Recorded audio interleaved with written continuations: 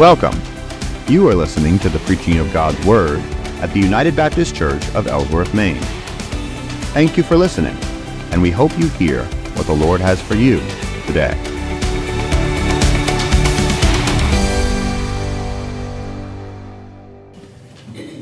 In what or whom do you place your confidence? A quick search on the internet of the word confidence is guaranteed to fill your screen with countless inspirational quotes and anecdotes testifying to or designed to bolster your faith in you. A consistent message of this world is you can do it. Believe in yourself. Or perhaps most recently, you got this. Which seems appropriate if you're trying to encourage a child to hit a ball, or you're teaching a kid not to fear the water, or getting a teenager to pass a driving test, attempting to alleviate a student's anxiety over going to college, or motivating a person to face their fears of public speaking. There is a time and a place for individuals to look within and to believe in themselves, but in other times, this insistence on our attempt to build self confidence in a situation falls flat. You can't say, You got this, to the spouse who doesn't want a divorce while the other is insistent on its happening. You can't say, You got this, to the parent whose child is drug addicted, to the person with the disease that will not be held at bay with diet and exercise. It'd be cruel to say such a thing to the family experiencing tragedy like what I, and I suspect you just read about this week a pastor's family that lost a six year old to a freak accident while they were on sabbatical in Maine. You can't say you got this to the Christian in Yemen who'll be killed if she's caught sharing the gospel. No.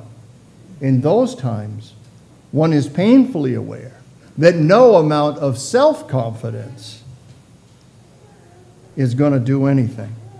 We need another type, a belief in something greater than anything we mere mortals can scab together.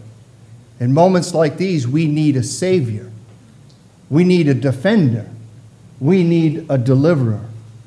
We need confidence in God. Our Father, as we come before your word this morning, we do so humbly, desirous to receive all that you have for us. We are so thankful to you, God, that you have the words of life, that your words provide for us the true meaning of this existence that you've blessed us with. Would you be with us this morning in the power of your Spirit that we might hear your voice? For yours is the voice that matters most and always. We pray in Christ's name. Amen. So, although it starts in a figurative minor key, Psalm 129 is actually a psalm of communal confidence.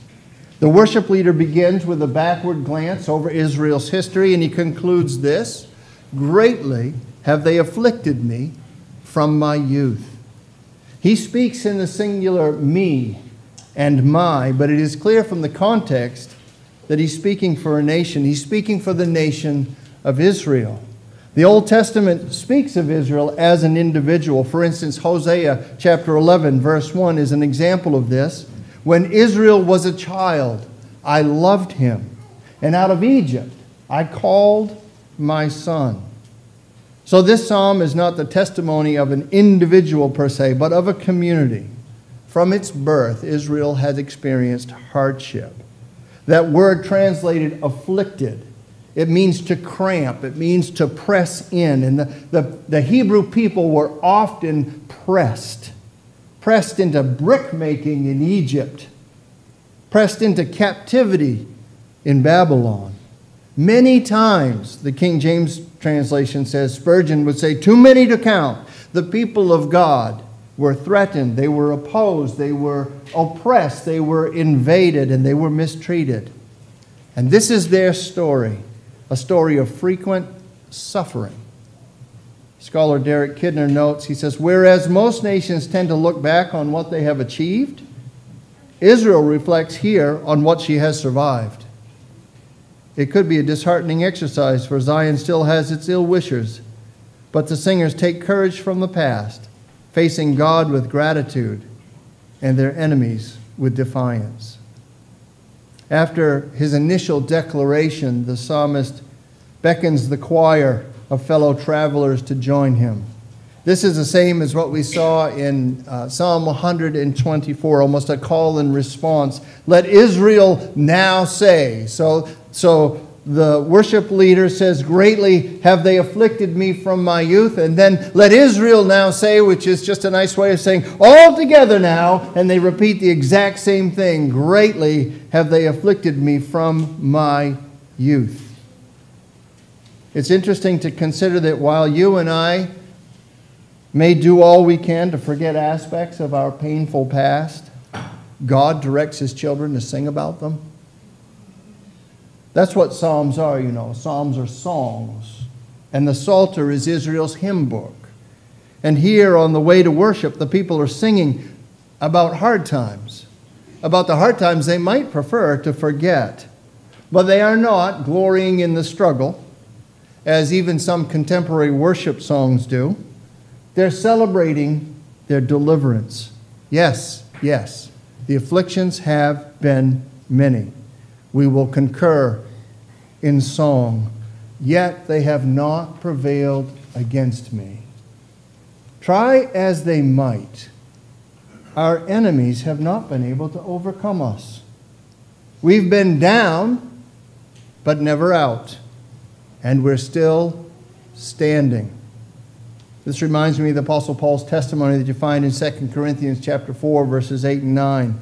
We are afflicted in every way, but not crushed, perplexed, but not driven to despair, persecuted, but not forsaken, struck down, but not destroyed for its whole existence, the pressure on Israel has been steady and significant, but it has not led to their demise.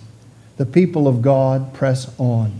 They are not, despite the wishes of their enemies, wiped out. They are not defeated. Their foes may rise against them, but they have not prevailed. They will not prevail. And the message of the psalm is clear God preserves his people. God preserves his people. This is his covenant faithfulness. This is his commitment to us. Just as we saw in the New Testament church a while ago when we did the, our study through the book of Acts, the true Israel of God is unstoppable. The enemy does not win. They or he will never ever have the final word. Do you get that, church? The enemy will never have the final word. The passage before us this morning breaks down neatly into two sections. First, we see praise for divine deliverance, which is followed by a prayer for divine judgment. So, praise for divine deliverance. In verse 3, the writer gives a very graphic picture of Israel's affliction. You have to picture the scene a rustic plow yoked to a large animal, dragging a metal edge through the dirt to make rows for planting. I literally witnessed this, this in April in our uh, hit and run visit to Amish country in Lancaster County, Pennsylvania. Old school plows harnessed to great big horses, tilling up the Keystone State dirt. Now, substitute that field for flesh the flesh of Israel's back. Israel stretched out, prone, its enemy plowing on its back, figuratively digging into it with a coarse blade and dragging that up and down and up and down. Bloody, long rows. That's what we're meant to envision. The sort of markings one would expect, say, from the lashing of a whip. In fact, this could well be a a poetic depiction of the sort of abuse that Israel suffered in slavery in Egypt.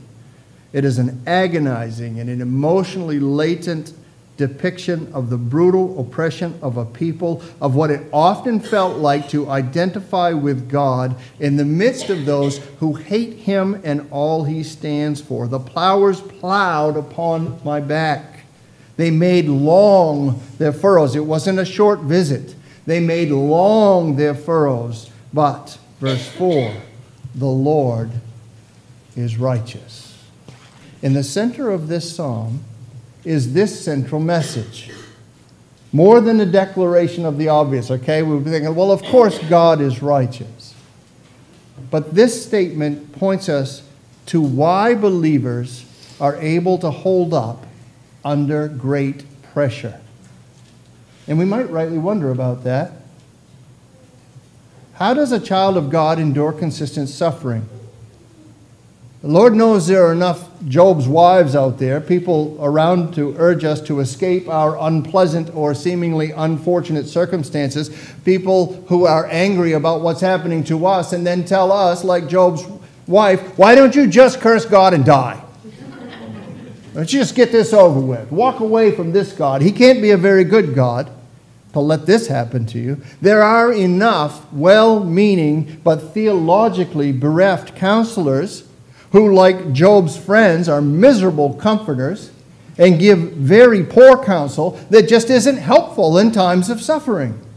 How does one maintain faith and resilience in hardship and the sort of systemic oppression that Israel often faced? The psalmist inserts the key for us right here in verse 4 the Lord is righteous. One perseveres by maintaining faith that God is good by knowing that whatever comes one's way, God is in it and it comes through Him. By believing the Lord knows best. By trusting, He understands how much one can bear and how long, and why one ought to be bearing it in the first place. One perseveres by having confidence that the Lord is able and will deliver his dear ones as he sees fit in his perfect time and in his perfect way. And most importantly, one perseveres because the Lord himself sees to it. He has covenanted with us. He has covenanted with his people. He will not let them go. One commentator explains and says, righteous is out and out a term denoting a relationship. And it does this in the sense of referring to a real relationship between two parties, not to the relationship of an object under consideration to an idea. That God is righteous means that God is in relationship with his people, and God preserves his people.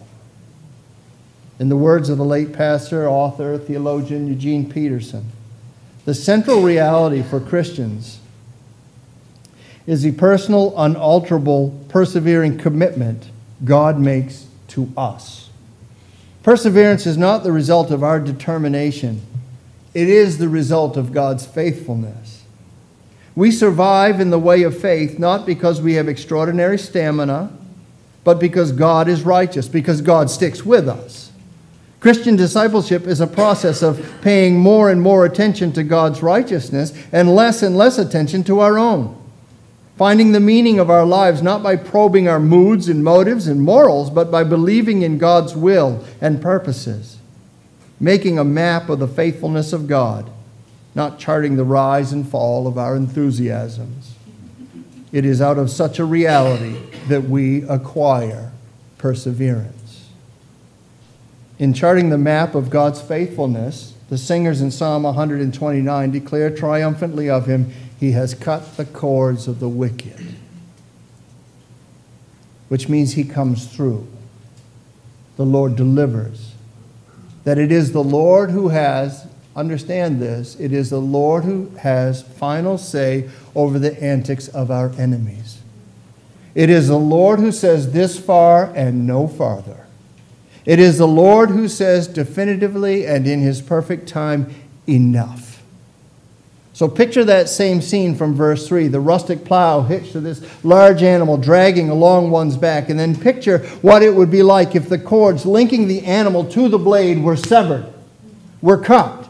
The whole operation is now rendered useless. No more plowing, no more tearing anything up. Whether it be field or flesh, the Lord neutralizes the pain inflicting means of the enemy, stops him in his tracks. Now, commentators seem to agree here the word translated cords actually means more than the leather straps connecting equipment to farm animals, or, or uh, it stands for the whole system of yoking. And the yoke, of course, is not just a farming implement connecting animals together for work or animals to equipment, it is an image in the Bible. The Bible uses this image to, depict, to depict oppression and, and captivity, slavery. Leviticus chapter 26, verse 13 I am the Lord your God who brought you out of the land of Egypt that you should not be their slaves. I have broken the bands of your yoke, and I have made you walk upright. The oppressed and bent over God has broken the yoke that they can walk upright. Or then there's the counsel given to King Rehoboam, which, by the way, he didn't heed. That's another story. 1 Kings, verse 12, uh, chapter 12, verse 4. Your father made our yoke heavy. Now, therefore, lighten the burdensome service of your father and his heavy yoke under which he put on us, and we will serve you. The yoke is unwanted captivity, it is a heavy burden. And then Jeremiah. The prophet Jeremiah spoke of Israel being free from this sort of thing, chapter 30, verse 8. And it shall come to pass in that day, declares the Lord of hosts, that I will break his yoke from off your neck, and I will burst your bonds, and foreigners shall no more make a servant of him. To cut the yoke, to cut the cords is to cut the yoke away. And so this psalm, which acknowledges all of Israel's struggles, at the same time celebrates the liberating mercy of God the breaking of the yoke, the cutting of the cords. Yes, the afflictions have been massive and they have been frequent, but there is no hint of self pity here. There is no hint of desperation in the psalmist's words. Instead, we find a quiet, understated, faithful confidence, reminiscent of Paul's encouraging words to Timothy. Paul, when he gave these words, the Apostle Paul was a political prisoner. The prognosis for his survival is absolutely grim, and yet there isn't one shred of panic in his voice. And he tells his beloved friend, what does he tell him? He says, I know whom I have believed. I can be this way because I know whom I have believed. Notice Paul doesn't say, I know what I have believed. We put a lot of emphasis on what we believe, and it is important to have our doctrine right and our theology squared away. It's important to know what we believe, more so is, it is important to know who we believe. And R.C. Sproul put it this way there's a difference between believing in God and believing God. There's a difference between believing in God, even the devil and the demons believe that. So that's no great thing. If you say, Well, I believe in God, that's not, that's not much of a trick. Believing in God is common. Believing God, that is the key. And that is rare. That is rare. The psalmist believes God. And he believes that God is greater than the plowman plowing up and down his back. God is greater than the people and the things that cause us pain. God has disabled the weapons of evil. He has freed his people from them. He has cut the cords of the wicked. And living as we do, and when we do, we know that he has done this in no greater way than through his son Jesus. The parallels between Israel and Jesus are not coincidental. Earlier I quoted Hosea 11:1, out of Egypt I have called my son. And that was in reference to Israel, Israel coming out of Egypt. Though in Matthew's gospel, we find it is fulfilled in Jesus. In Matthew chapter 2, verses 13 and 15, captures the affliction of Jesus by the way that started in his youth. It says this Now, when they, they being the wise men that uh, were sent from Herod, and why did Herod send wise men to find the baby Jesus? Do you remember? So he could know where he was so he could go and kill him. That's how Jesus started, right? Great have been my afflictions from my youth up. That's how Jesus started. Now, when they, these wise men, had departed, And they tricked him and they went in a different way, which is cool part of the story. But again, another story. An angel of the Lord appeared to Joseph in a dream and said, Rise, take the child and his mother, and flee to Egypt. And remain there until I tell you, for Herod is about to search for the child to destroy him. And he rose and took the child and his mother by night and departed to Egypt and remained there until the death of Herod. This was to fulfill what the Lord had spoken by the prophet Out of Egypt I called my son. Jesus, we will learn, is the new Israel, the faithful Israel, that would be all that God intended for his Israel to be. Jesus would succeed where Israel failed. He came out of Egypt, he passed through the waters, he was tested in the wilderness. Does this sound familiar? At every turn, though, Jesus did what was right and he did what was pleasing to his Father he would be greatly afflicted. The image of the furrows on the back of Israel casts us forward to the furrows on the back of Christ. They were put there by the cruel whip of his enemies who thought they held him in captivity. It is a startling and a true recurring theme of Scripture that at times even the enemies of God are the instruments for, for fulfilling the will of God. It was, in fact, the Father's will that his son Jesus should be arrested and that he should suffer, not for sins that he had done, but for our sins. 1 John chapter 2 verse 2. He, Jesus, is the propitiation for our sins, the atonement for our sins. He paid the price for our sins, and not for ours only, but also for the sins of the whole world. Why does he do this? Why does Jesus come? Jesus atones for sins because the Lord is righteous, because he's committed to his people because he loves us, because he loves you. So, at the expense of his own son, he made a way for us to be saved. On the cross and with his life, Jesus paid the price for our wrongdoing. And so Isaiah rightly predicted it was for our transgressions that he was pierced. It was for our iniquities that Jesus was crushed. It was for us that the Son of God bore the chastisement of God so we could know peace with God. It is by the stripes of the suffering servant of God that we are healed. It is by his atoning sacrifice, his death, his resurrection from the dead, that for those who will put their faith in him, he cut the cords of the wicked. He frees us from the yoke of sin and invites us to adorn ourselves with another. You see, and you should know that the freedom God offers in Christ is not a liberation from every yoke. It is freedom from the yoke of sin and all that sin brings. He cuts those cords, He does away with that. That yoke is destroyed, but only so a better yoke can be put in its place. Liberation from the throes of sin is not just for us to be able to go and do whatever we want, which is sometimes how we think of that. I profess Jesus as my Savior, I get my fire insurance, and now I can do whatever I want. That's not what the gospel teaches. That's not what the Bible teaches. God mercifully cuts us loose from bondage so we can actually and finally be free to do what we were created for which is to serve Him with our lives. That's why we're here, to make much of God.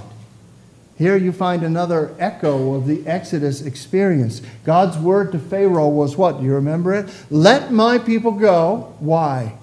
That they may serve me. We are saved to serve. God saves us to serve. And what that means is he takes the yoke of sin away from us. He cuts those cords in order to give us, or in order that we might come under a different yoke. That's what Jesus is talking about in Matthew's gospel. And in the 11th chapter, the invitation that he gives for those who are weak and ready to come to him, an invitation to those who are worn out trying to do everything on their own who are exhausted trying to do the right things and frustrated because they can't, who are tired of what seems like a futile existence, making no headway whatsoever. Jesus says, Take my yoke upon you. Jesus says, Try me. That's what he's saying. You've tried all this other junk. Try me.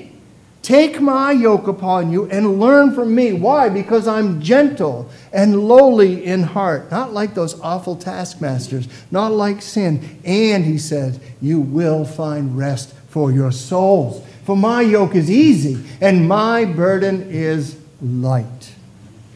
In contrast to the cords of the wicked, and in the vein of Christ's words here about his yoke are the words of God given in Hosea chapter 11, verse 4. He says, I led them, this is Israel, God speaking of Israel, I led them with the cords of kindness, with the bands of love. And I came to them as one who eases the yoke on their jaws, and I bent down to them, and I fed them. That is Jesus. That is God come to this world, the bread of life coming from heaven, bending down, condescending to us that we might be fed. Friend, are you tethered today by the cords of wickedness or the cords of kindness? By the cords of love? Or are you tethered to the enemy of your soul by the cords of evil? Sin is a taskmaster, you know. It's going to drive you to death. But Jesus is a co laborer who will make your journey through this life meaningful and who shares the burdens with you. That's the only way they could be considered light. Because being a Christian is not inoculation from trouble and struggle and strife. It's having someone carry the burdens with you. That's what makes them light. Not easy, but light.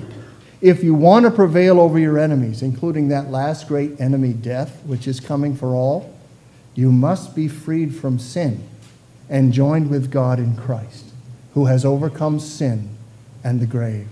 Praise God, He has indeed cut the cords of the wicked.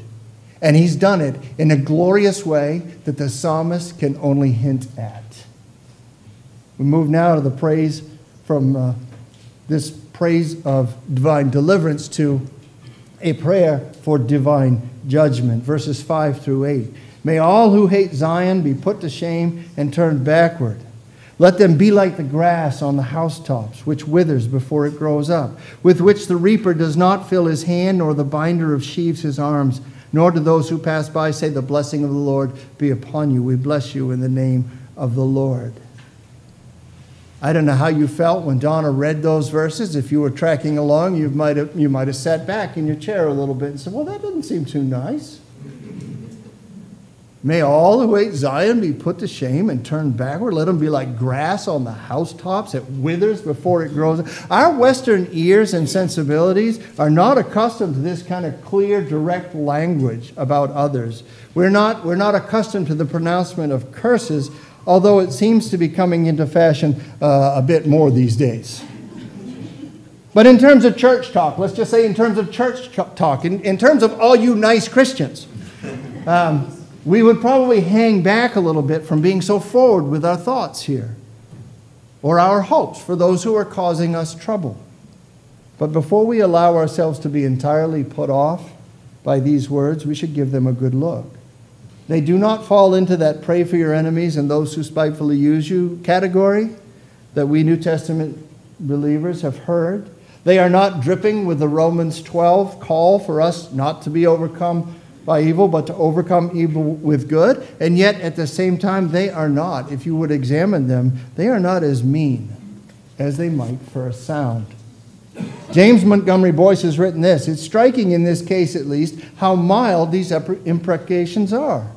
The psalmist is not asking that those who have harmed Israel be sent to hell, or even that they experience the same suffering that they've inflicted on others.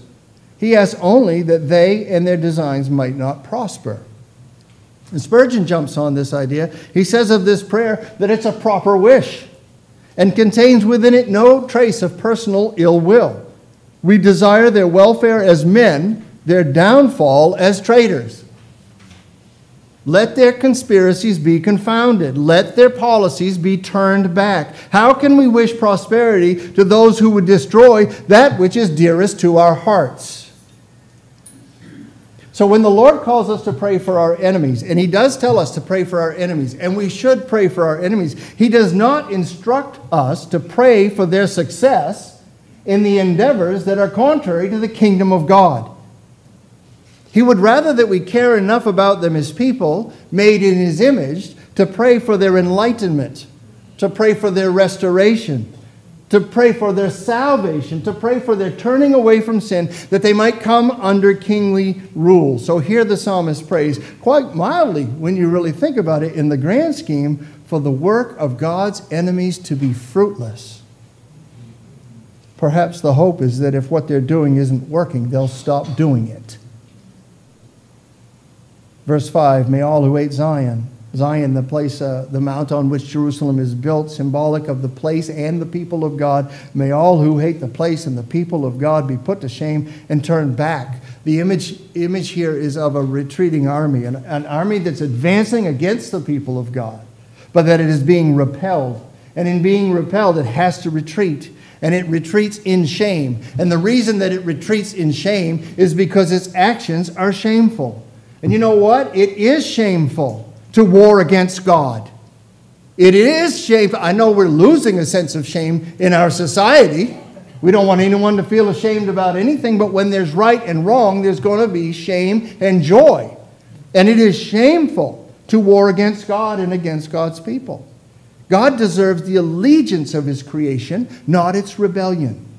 And again, we better find this language to be harsh but it is a reflection of the same language that the prophet Isaiah used to describe idolaters. Isaiah 42, verse 17 they are turned back and utterly put to shame who trust in carved idols, who say to metal images, You are our gods. We should hope that those who rise against God would be turned back. We should hope that those who would rise against God would suffer humiliating defeat. Let them be put to flight in battle. Perhaps the failure of their offensive against the Most High would lead them to the true pleasure and abundant life that is found by walking with God, not fighting against Him. Let them be like grass on the housetops, which withers before it grows up. Any of you pray like this? Let them be finished before they get started, is what he's saying. Let them be done before they get going. The flat roofs in that region, right, collected lots of dirt. Many of them were sod roofs just to begin with. So seeds in the dirt or sprigs from the sod would occasionally sprout. But because there was no depth of soil and because of exposure to the heat of the sun, any grass that sprung up would quickly wither and die. It was good for nothing, that grass. It would be of no benefit to anyone. And that's the prayer. Let the efforts of those who rise against God amount to nothing. May they be useless in their cause. Let the short lived nature of their endeavors be, be obvious. Let the inevitable end of their promise be realized quickly. Let them be of no benefit to anyone. And third, let them not receive the Lord's blessing, or let them remain unblessed. In the book of Ruth, we have a picture of a fruitful harvest where the landowner Boaz comes down from Bethlehem, and while walking through his field, he says to the reapers, The Lord be with you. We might envision these reapers with their arms full of sheaves, The Lord be with you. And they answer, The Lord bless you. If you have a chance to join us sometime on a short term mission trip to the Dominican Republic, you will be greeted, I'm sure, not with just the casual hola. I think that means hi but often with a sweeter sound. God bless you. You'll be greeted that way. We say that when people sneeze. I don't even know why. They say it as a greeting, a blessing. We cannot bless or hope those to be blessed whose efforts are contrary to the kingdom, church. That's what the psalmist is saying. That's all he's saying with this curse. One cannot wish well in the name of Jesus, the very odds, the very work that is at odds with Jesus. Rather, one might wish for the fast failure of the enemies of God.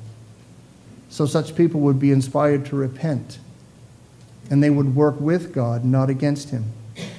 Otherwise, as we heard recently in Psalm 127, their lives will be spent in vain. If they don't learn to work with God and they continue to work against Him, their lives will be spent in vain. So I want you to consider, friends, the opposition to the godless in prayer that we find in these three imprecations that conclude Psalm 129 may not be the mean and judgmental words that our culture has trained our ears to hear. We're not supposed to speak this clearly. We're not supposed to be this direct. We're supposed to look at things that we find stupid and offensive and say, Oh, God bless you. May the blessing of the Lord not. Right? That's disingenuous. That's not true. These words are true, and if answered, they might just be the impetus for the enemies of God to become friends. And remember, verse 4 the Lord is righteous. He will deal justly with those who love him, and he will deal justly with those who don't. He does what is right by his people, and he does what is right by those who harm his people. Albert Barnes, in his notes on the Bible, writes this God is righteous in permitting this, that is, in reference to the many afflictions of Israel. He's righteous in what he has done, he's righteous in what he will do, in the treatment of those who inflict such wrongs. We may now safely commit our cause to him in view of what he has done in the past. He was not indifferent then to our sufferings or deaf to the cries of his people. He interposed and punished the oppressors of his people, and we may trust him still. If there is a bottom line to this psalm, that last line would be it. We may trust him still. Amen. When, like Israel of old, we reflect on how wonderfully we, personally and as a people of God, have been preserved. Let that then fortify our hope for the future that is in store for us. He has cut the cords of the wicked. Therefore, we may expect some occasional reprieve from evil in the here and now, while we are confident of its riddance in eternity. However great our afflictions may be, we are reminded by God's word that they are in truth light and momentary, and they are preparing for us an eternal weight of glory beyond all comparison. A glory that no eye has seen, nor ear has heard, nor heart has imagined, the glory of what God in Christ has prepared for those who love Him. Our Father, as we come away from this psalm, we are moved in one of two directions. We are elated to be counted among those for whom the cords of wickedness have been cut, or we are reminded that we are still yoked to sin and subject to its consequences. We want to praise you and thank you, God, for your power over evil, for your readiness to forgive our sins to cut the, coat, the cords of wickedness, to give us a yoke of kindness. We hear your invitation to come to you, Father, and that's what we're doing today in our hearts as we ponder this psalm, coming to you again and again. You're the one who can make our burdens light. You're the one who assures us our enemies will not prevail. You're the one who gives us the victory. God, we thank you for loving your people the way that you love them. We thank you that you are righteous when we are not. We rest in it. In Christ's name we pray. Amen. Amen.